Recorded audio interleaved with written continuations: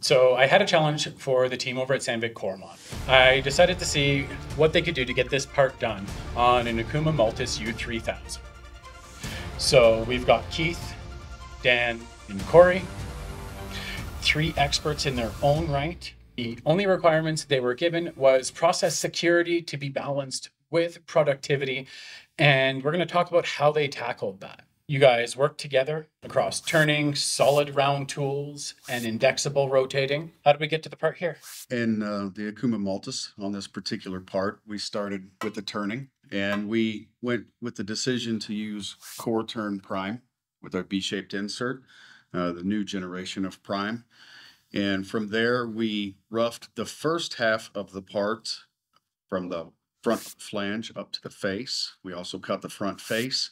And then we finished both of those surfaces, as well as cutting the undercut and finishing the undercut, both roughing and finishing.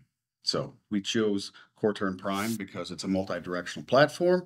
If you engage it properly and use it programmed efficiently, you can get eight cutting edges off of CoroTurn Prime B, which makes it a very good choice for sustainable machining. Awesome. And the multitask machine can do a lot in there. Now, from what I understand, Prime recently had some revisions to the inserts. It did. Uh, the first generation of Prime, we had some complications with insert movement. And we also received a lot of market feedback that they would like more edges on Prime. So the new generation of Prime turning or CoroTurn Prime B is a double-sided insert. So now we have a negative pocket. We've also improved the pocket. We have seven contact areas now within the pocket, which makes for a really secure pocket and a true multi-directional turning platform. So what did we tackle next? So next, we tackled the front of the part with the CoroMill MH20. Yeah. Now the CoroMill MH20 is coming on its second year of release, and it's a dedicated high feed tool, really optimized for pocketing and core machining. So then we transitioned to solid round tools. So we brought in the CoroMill Dura, which is our versatile line of end mills, because we really wanted to show off that true versatility uh, on this part. So we came in with a four flute and did some floor finishing as well as finishing the walls of those pockets. And I mean, with the rotation of the part as you're feeding, there's a lot of forces on that tool, and the Duramill stood up. Yeah, it sounded great. Very quiet. Uh, very clean finish, as you can see. So did a really good job. Nice. So where do we go next? All right, so for the flats on the part, we went to a new concept called the CoroMill MR80. Okay. Now the MR80 was just released in October of 23. And it's a double-sided, positive, round button insert cutter. A couple reasons we went that direction. One, there's a six millimeter radius requirement on the part.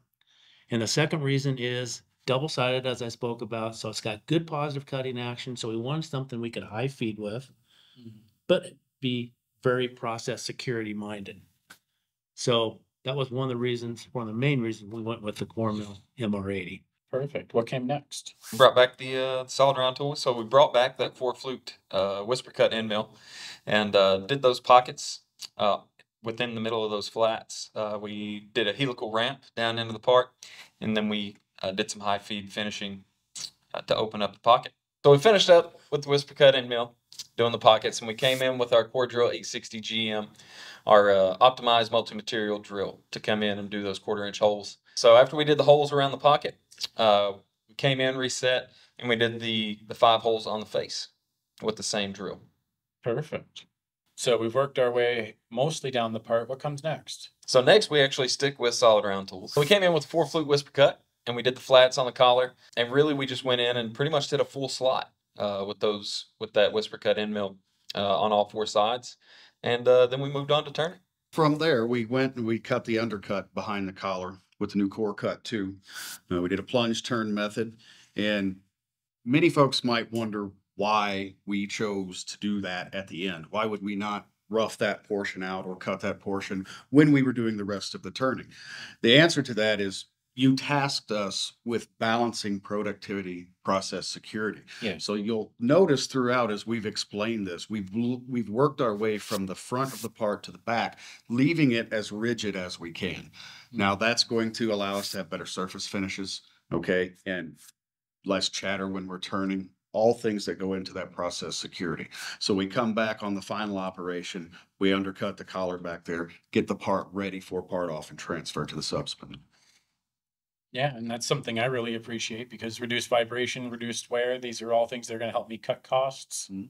and keep that tool running longer so I can split that labor off to other machines and so I don't have someone watching like a hawk with their hand over the e-stop. Right. Yeah, in today's machining environment, we we really see a push for folks that are looking for that balance. Yeah. You know, we have a lot more autonomous cells and we have um, you know, we all know about the skills gap that's in the industry. So could we have ran that part faster? Yeah, probably, but would we have been as controllable and secure? Um, I don't think so, Dan. What do you think? Well, I think this allowed the, the customer, customer part would allow that machinist to walk away and go set up another machine and know that the part's gonna be stable and productive. Well, guys, I think you really knocked it out of the park working together. Uh, it's one of the things I love about bringing a challenge to Sandvik Coromant and really how we all ended up here today is they have people around the world that are trained there to support manufacturing and help it grow. Yeah, and, and just like we talked about earlier, how valuable partnerships can be, you know, externally with Mastercam and, and other companies, but internally as well. So you've got the three of us from three different disciplines that can come together and create a part just like this. Absolutely. And, and that's not the, that's just the beginning of it. I mean, Mastercam was a fantastic partner in this project, but we also have so many other resources that are available to our customers out there. Yeah, to that point, Dan, we, we have special project teams, Arthur, as you know. Um, we, we can provide comprehensive support, uh, all the way from programming to fixture design and just anything that, that the clients may need. Uh, Coromant can bring that as an offering. So, uh, we're, we're proud to be able to have that kind of breadth of service. And I mean, really, it all ties back into distributors as well who work and partner with you, as well as people like the team at Okuma. If you needed their support during this, they would have been there thanks to the way that you guys work together. Absolutely. So until next time, just keep your spindles turning and earning. Line them up Yeah. That's the wrong part. It's like an infomercial from Is this the wrong part? You mean, the- oh, it's got the. No, no, no, no. No, it's not. That's the only My, one with my apologies. drill holes in it. You're- Sorry. Stupid. He just needs to relax. It's got all the drilled holes. I really wish you would just bring it down a notch.